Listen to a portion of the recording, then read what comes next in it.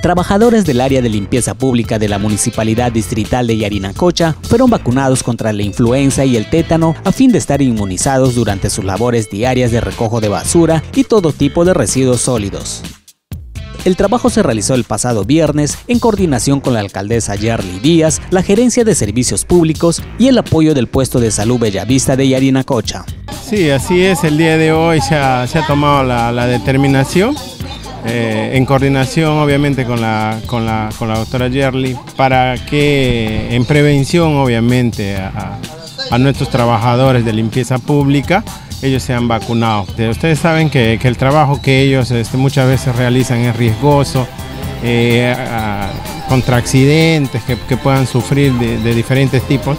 Y también creo que es este, tiene, eh, nos están vacunando contra la influenza. Tú sabes que ellos están expuestos también al sol, a, las lluvias y todo lo demás, así que en cualquier momento ellos pueden sufrir alguna enfermedad o algún accidente.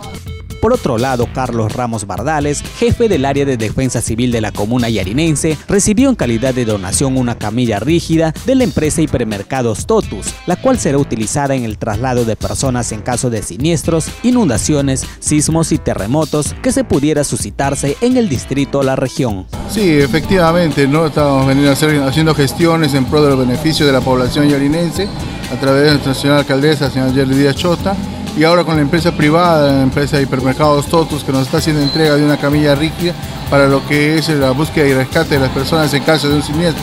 Tenemos inundaciones, sismos, terremotos que se pudieran provocar en la región. Nosotros estamos ya preparándonos y también estamos eh, consiguiendo los materiales adecuados para poder actuar en beneficio de la población.